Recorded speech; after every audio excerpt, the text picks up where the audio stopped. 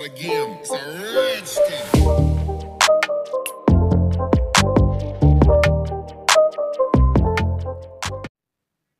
Hello बच्चों आज हम करने वाले हैं क्लास वर्क नंबर टू आपको तो पता ही है, ये हमारी हिंदी की नोटबुक है और हमने क्या क्या कंप्लीट किया है क्लास वर्क नंबर वन हमने कंप्लीट कर लिया है आपको पेंसिल से लिखना है, मैंने आपको बताया है, कोई भी डार्क पेंसिल से आपको लिखना है।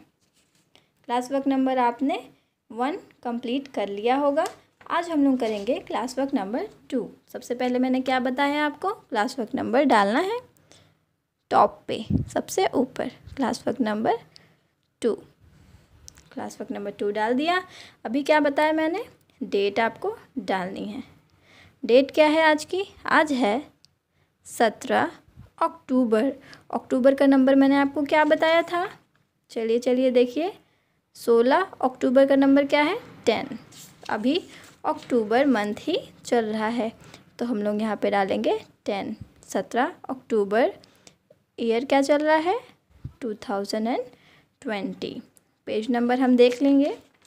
यहाँ पे हमने पेज नंबर वन डाला है तो यहाँ पे मैं डालूँगी पेज नंबर टू। सी, आपको पेज नंबर टू यहाँ डालना है। आपको ये वाला काम जो मैं यहाँ कर रही हूँ, आपको यहाँ करना है। क्योंकि मैंने स्केच से काम किया है, इसलिए मेरा ये वाला पेपर वेस्ट हो गया है। यहाँ पे मैं कुछ लिखूँगी तो आपको अच्छे से शो नहीं होगा। ठीक है? तो आप पेंसिल से लिखेंगे तो आपको यहाँ पे लिखना है। पेज नंबर टू डाल के यहाँ पे लिखना है। तो आज का आपका क्या है क्लास वर्क फिर से हम लोग प्रैक्टिस ही करेंगे। यह है हमारा right curve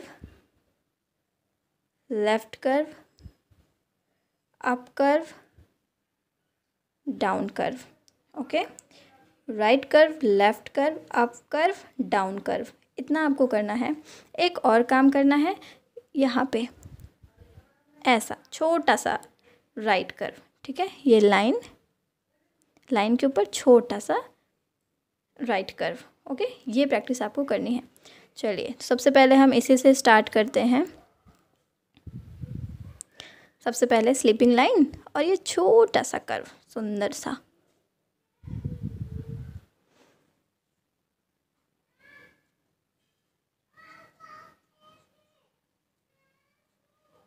एक के नीचे, एक करेंगे, मैंने आपको बताया है।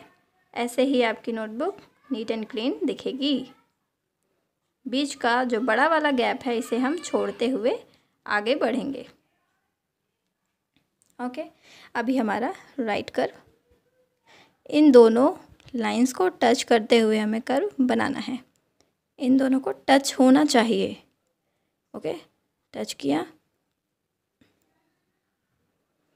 आप जल्दीबाजी नहीं दिखाएँगे, ठीक है? आराम से करेंगे। आपको हर पेज पे ए प्लस लेना है ना? हम्म ए प्लस लेना है तो सुंदर सुंदर सा काम भी करना पड़ेगा। और जितने भी स्मार्ट बच्चे हैं, वो सुंदर सा काम करते ही हैं। ठीक है? ये हो गया आपका लेफ़्ट कर्व देन आप कर्व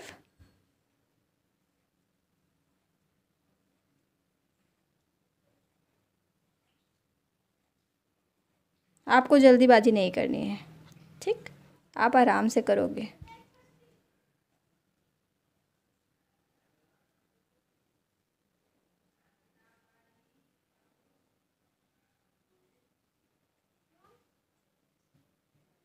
तो ये है आपका क्लास वर्क नंबर टू इसे भी आप अपनी नोटबुक में सुंदर सा बनाएँगे। इसे प्रैक्टिस करेंगे।